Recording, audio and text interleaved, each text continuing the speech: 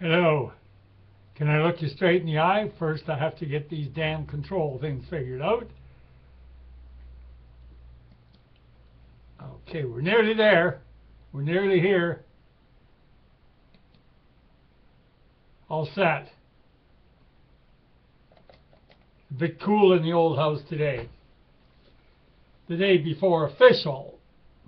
Now, is that correct in saying that? It's Empire Day, May 24th.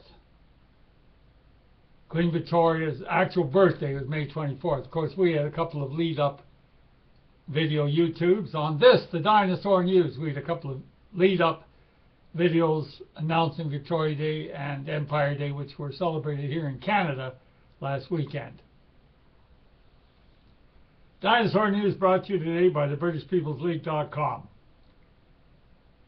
May 23rd. Tomorrow, Empire Day, our buddies in the motherland uh, have a, a sale. Candour.org.uk, C-A-N-D-O-U-R.org.uk. They're having a special sale for Empire Day, so I'm giving that a plug. We give reciprocal plugs all the time. Candour League and the British People's League. We're patting each other's back. Together like glue in the thunderstorm called patriotism.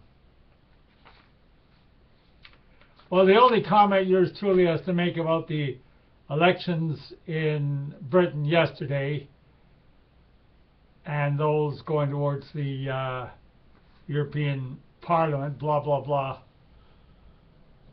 I mean, sure, it looks good to have a Tea Party type party organization get a, get some more votes. But we've got to look ahead at this situation. You know, we're not we're not playing this for for votes or getting in the legislature and the parliament and what can be done. Do you think that the, the democratic elections are going to produce men and women who are tough enough to tackle the reins of the multicolored invasion? I don't think so. And every day they're counting votes. There's thousands more babies being born to the third world who will be living in Britain, Canada, Australia, New Zealand.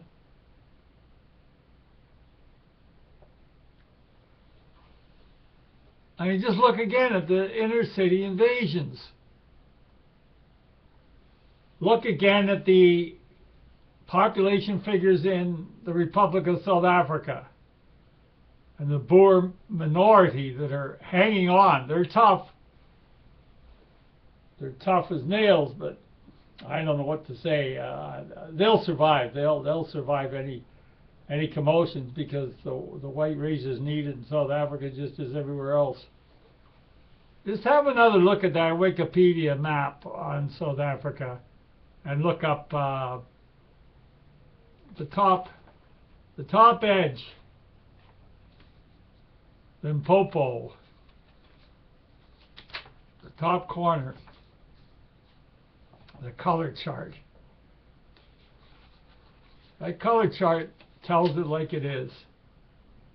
There's a white section of white Boers left. They're prepared to fight for their racial survival, and so are we of the British People's League. Legally, of course, when our throats are up against the wall. I, have I've been sent fi figures' names and how they died of many South African patriotic Boers and uh, I'm just not in the mood to read out the, the gruesome murder list, uh, those murdered by the multi-cults. So I'm trying to give an overall picture here of down the road we have to be looking at, not, not a current electioneering, well, then, you know, the argument, well, we could be in power, we could change things. Change what? They'll change nothing. Milk toast.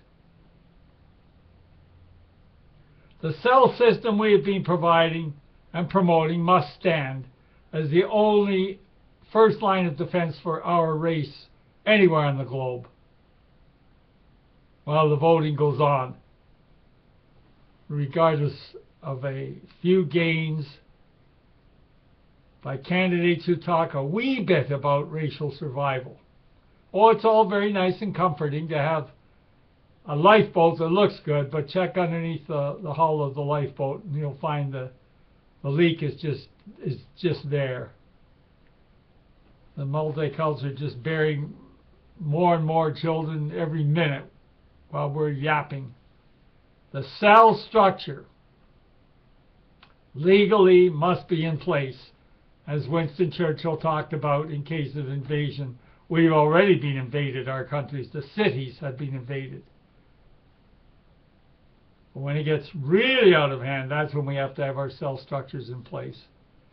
And with the modern internet, we can be in place on a global scale, in touch with each other on a global scale, those of our white race, British stock, British heritage and ancestry, our Boer cousins, our new our new partners in the struggle. I don't talk about Europe much because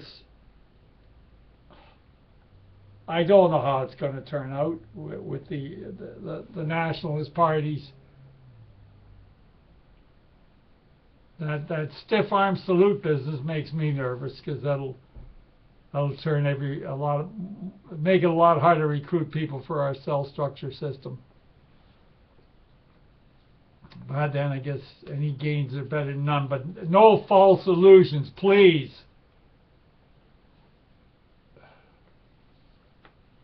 Look at the inner cities. Look at Toronto, Jane and Wilson Corridor, Bradford in Britain, Birmingham, Leeds.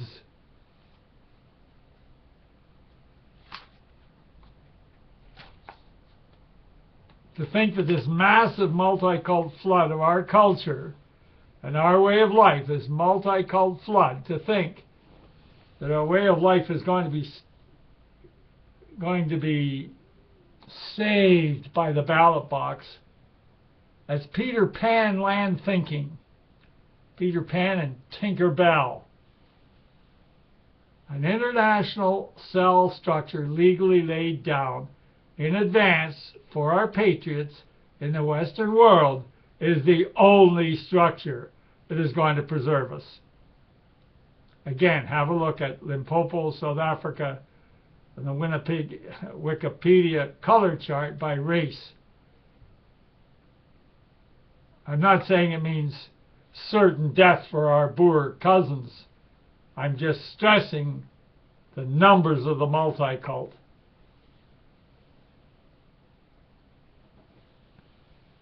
The face of the reality. Votes can't preserve us. Elementary cells can, must, and will. The underground succeeded in the Second World War. Preparation is the key to our racial survival. Preparation is the key to our racial survival. Legal preparation to defend our lands, however it takes. Could call this an appendix to last weekend's Victoria Day and Empire Day message. That's for sure. Legal preparation to defend our lands, however and whatever it takes. If by some miracle a vote box victory, ballot box victory, gave gains to a patriotic political party, once that said political party makes a major move against the multicult invaders, then the bullets will fly from the prepared enemy gunfire at us, aimed at us. Once the said party makes a major move, say the Tea Party types or the UKIP party or whoever, makes a major move against the multicult invaders, then the bullets will fly from the prepared enemy gunfire at us, aimed at us. And by death by bullet would almost be a pleasure compared to how the Boers be tortured farmers isolated in the outbacks. Our friends at South African Farm Watch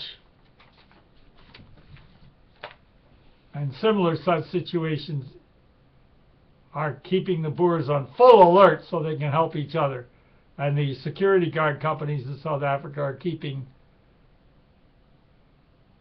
our Boer friends alive, as well as their own guts and determination and arms, ARMS. I think I got that point across. So the the outcome of, of the elections in, in Britain and and the European Parliament. They don't mean a damn to the overall picture for the white race. We're being outbred and outnumbered. The only thing that's going to work for our survival is our superior brain power. Ah! Superior? Did I use the word superior? Where did all the inventions come from? I mean, let's face it. It's our wits, our brain power that will outmaneuver the mob. Our brains, our guts, our willpower will outmaneuver the mob. But the plan for this maneuvering must be in place. And yes, we're getting to acquire the cell structure, the legal cell structure, and reread the Wikipedia article on the British resistance as to the cell structure. Gets right into the fine activities of the cell structure three quarters of the way down the article. So that's basically the message that I'd like to leave you with today, May 23rd. Enjoy tomorrow, Empire Day, May 24th, the official date. Just the fact that you're celebrating that date, there's our link with history right there. So enjoy yourselves. And I always wear the Aussie hat as often as possible, showing our totally equal linkage with our Aussie friends and patriots. I may not have as much to say. I still haven't been able to connect with a reporter who reported goings on in Australia, as did passed away Nick Main a year and a half ago. I'm sure there's someone else out there who could pass details as to patriotic activities to the British People's League here. Our email, britishcanada at gmail.com. britishcanada at gmail.com. British People's League, britishpeoplesleague.com. And again for Candour, for their special sale coming up, check it out, candour.org.uk, C-A-N-D-O-U-R dot org dot UK. And just a reminder that you won't be hearing much about American White Patriot News any longer on these shows. It's too confusing for this boy. My nerves couldn't handle it, following all of the the different aspects we're, we're trying to stick up for our race and our peoples. Our British American friends have got quite the quite the battle on their hands just organizing white people with the, so many different aspects and so much infighting. But I, I, I would still emphasize the AmRen people, American Renaissance, and our friends at the League of the South. But I, I have to tell you, it's not knocking our American Patriot friends, of course not, but whew, my nerves are a lot better since I've stepped aside from the American white scene and sticking to our, our British root, blood, associates and friends in, in the motherland. Keeping in touch with friends on Facebook in Australia. New Zealand, we think of Gibraltar and the Falklands. And you want to check out some patriotic people, click into Facebook. I have it listed under John Beattie Facebook. to the right on the BritishPeoplesLeague.com homepage. Great big F for Facebook, the blue Facebook, and just click on there and check out. There's a couple of personal friends who who are not heavy duty into our cause, but they have to be a little bit. I don't associate with anyone that doesn't care at all. But uh, you um, check into some of these fine people, and you may wish to request them as a friend. This is how it begins, building up contacts for the requested and desired and needed, obligated cell structures. Okay, so have a great Empire Day, and we'll talk at you next time. Thanks for tuning in, and our bulldog, of course, wants to say hello and goodbye for now.